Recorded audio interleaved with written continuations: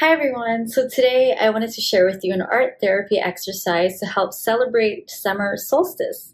So summer solstice is on June 20th and it's actually the longest day of the year. It's when the sun is closest to the earth and really it's about a celebration of light. And so if we think about the different seasons and kind of what they teach us, we can think of winter as a time of going inwards, of hibernating, of kind of, you know, the darker parts. Spring is about new growth, the first kind of burst of energy that we get after summer or after winter. And then summer is all about being super energized and bringing everything that we've ever wanted into full fruition. And so this exercise is all about that. It's about connecting with the energy of the sun and getting energized from that. And I know the past couple months have not been the easiest for anyone. And so I wanted to bring us back and kind of bring our focus into what kind of energies we want to attract in the next phase of our life. What you're going to need are really simple supplies. You're going to need a piece of paper and some sort of drawing materials. So it could be some paints, oil pastels, felt pencils, felt markers, whatever that you have. So how you're going to start this is you're going to draw a circle in the center of your page. In that circle, I want you to fill it with all the words and energies that you want to bring forth into the next phase of your life. So this is you setting your intention.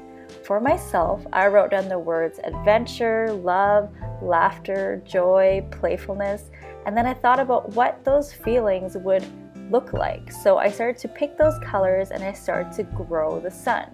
And this is the most important part of the exercise. You want to start from the middle and go outwards, just like how a sun radiates out. Move your brush or your pencil in whatever way that it wants to move, but when it does, I want you to really think about what it would feel like if all those energies that you wrote down actually manifested in your life. This is what I did. So this was my circle and it's filled with all the words that I wrote. And I started drawing the sun rays. And then after I started adding paint to it, it started getting so much energy. And so I was kind of obsessed with doing this repetitive motion of using the paintbrush and kind of stopping it. What I love about this is that when I look at this, it makes me feel really happy and it makes me feel really, really excited about what's to come in the next few months of my life.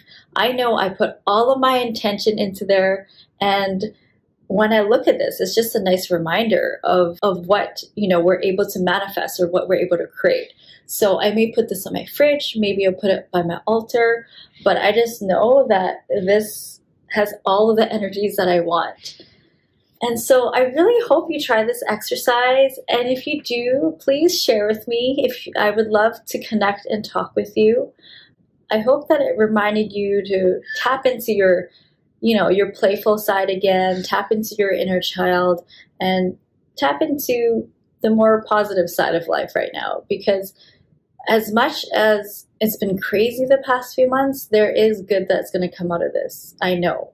So, anyways, I hope to see you next time. Um, every week I'll be releasing new videos for different art therapy activities. So please be sure to tune in and I will see you next time.